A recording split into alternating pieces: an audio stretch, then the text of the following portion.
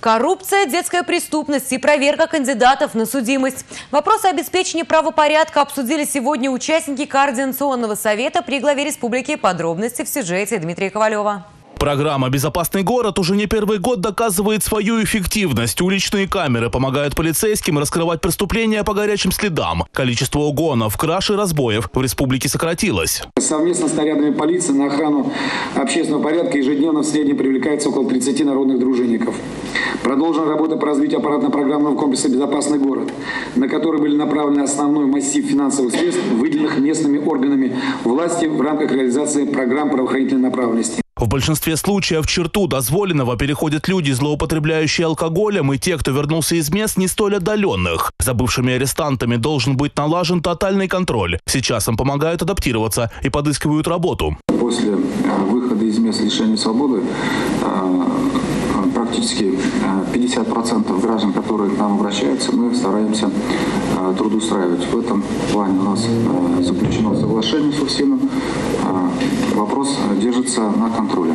В республике продолжают эффективно бороться и с коррупционными преступлениями. Только в прошлом году было выявлено более 300 фактов. Почти на 7% возросло число лиц, привлеченных к уголовной ответственности, совершивших коррупционные преступления. На четверть больше, больше запрещено лиц, совершивших должностные преступления. В два раза больше выявлено фактов взятчества в крупном размере. За незначительные преступления в экономической сфере предприниматели будут карать только рублем. Поправки в закон о замене уголовного преследования бизнесменов финансовым финансовым штрафам сейчас обсуждают в правительстве страны.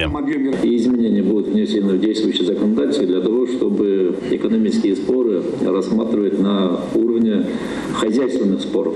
То есть это будет, но в первом полугодии определенное решение, наверное, будет принято. Кто сохраняет свое доброе имя, тот и будет дальше развиваться, будет развивать свой бизнес. А предприниматели, а, осуществляя свою деятельность во многих а, своих сферах, вынуждены ставить свои подписи, делать какие-то, принимать свои решения. И, безусловно, без ошибок не бывает.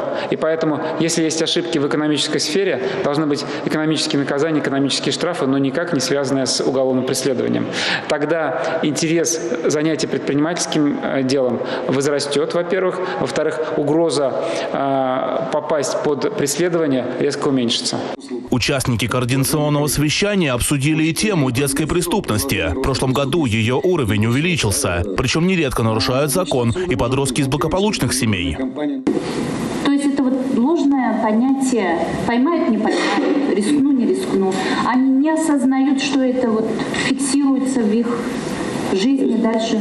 Такие преступления должны предупреждать и учителя. Педагоги, отметил Михаил Игнатьев, обязаны сообщать родителям, во сколько их ребенок ушел из школы. Кто работает там по 12 часов или по 15 часов, они детей, наверное, только вечером или ночью видят. По всей точки зрения здесь связь должна быть налажена. Что нужно делать? Вы подготовите свои предложения для того, чтобы вот это информационный обмен учителей с родителями был надлежащим образом организован. По-прежнему в республике от рук взрослых страдают и дети. Причем чаще всего эти преступления совершают близкие люди. Все субъекты профилактики, субъекты профилактики это прежде всего в муниципалитетах, это и комиссии по делам несовершеннолетних, и органы опеки, и подразделения по делам несовершеннолетних, и учреждения образования, дошкольного образования, учреждения здравоохранения вовремя должны выявлять неблагополучие в семьях и вовремя об этом ставить в известность правоохранительные органы. Отдельная тема заседания – предстоящие выборы. Необходимо, отметил Михаил Игнатьев, выявлять и пресекать любые попытки криминала пробраться во власть.